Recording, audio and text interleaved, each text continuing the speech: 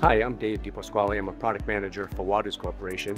What I'd like to do is introduce to you our latest, most revolutionary HPLC system called the Alliance IS.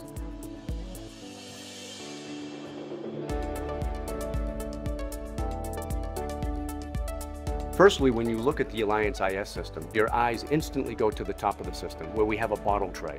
Let me first speak specifically about the bottle tray itself.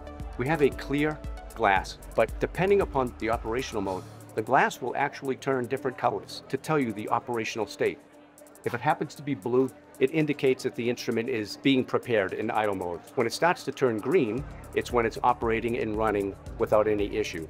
If it turns red, then there's an error state which needs to be addressed.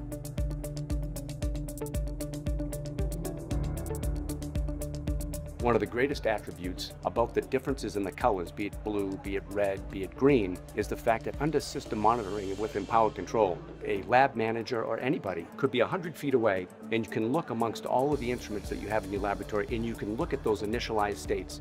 You could say the majority of my instruments are up and running, or I may need to provide some additional assistance to the instruments that happen to have the red hue.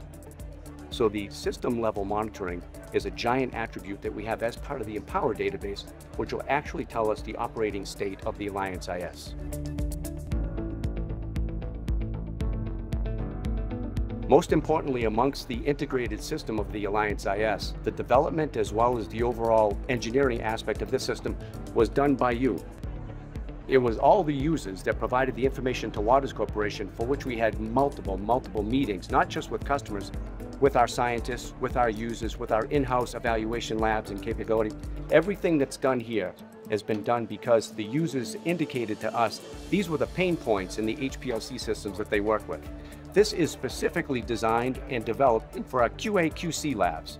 Quality control, again, it was all designed and it was all prepared, ready for everyday consumption, done and designed by our users in the field today.